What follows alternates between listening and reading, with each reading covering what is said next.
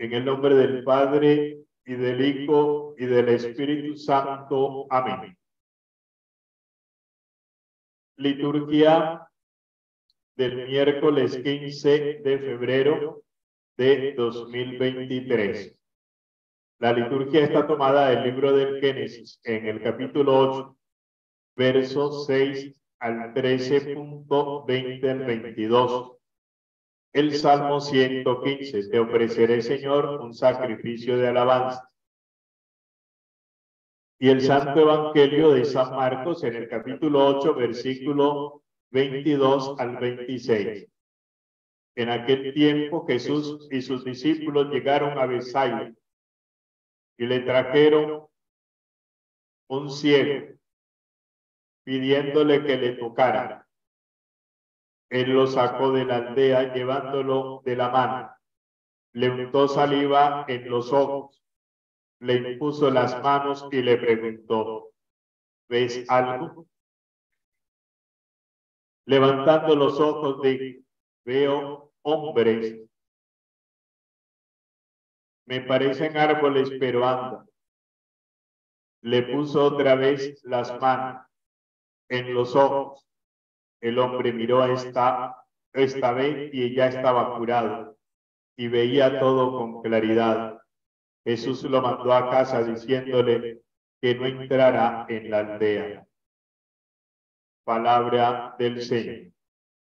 Gloria a ti, Señor Jesús.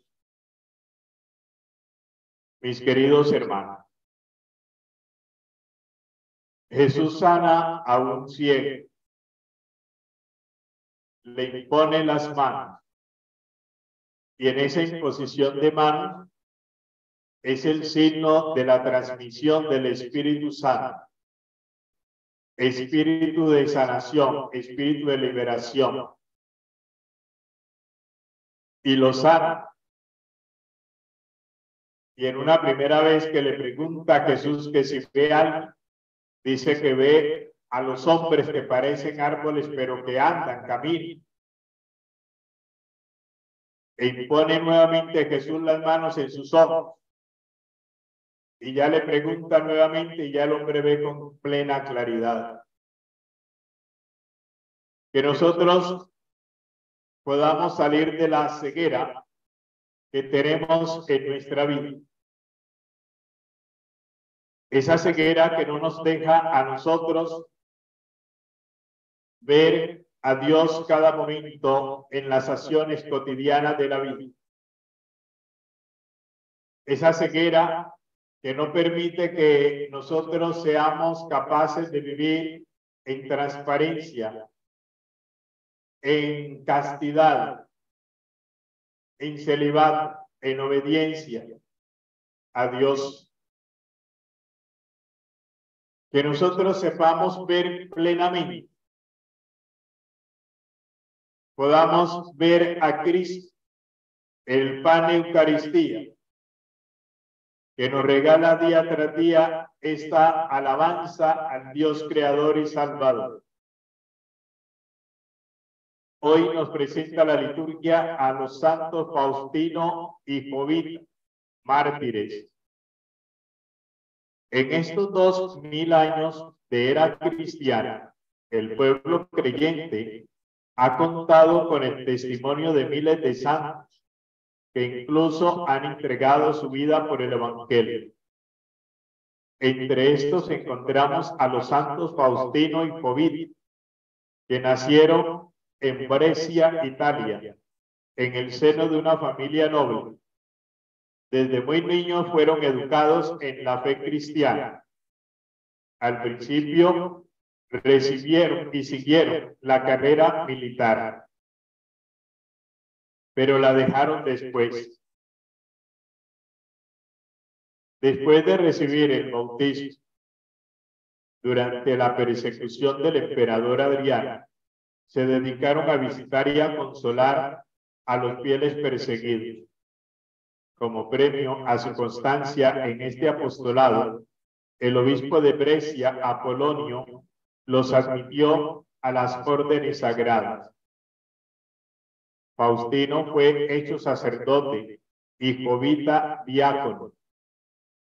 Después de la consagración, los santos hermanos aumentaron su fervor, se dedicaron a la predicación y a exhortar a los fieles a perseverar en la fe.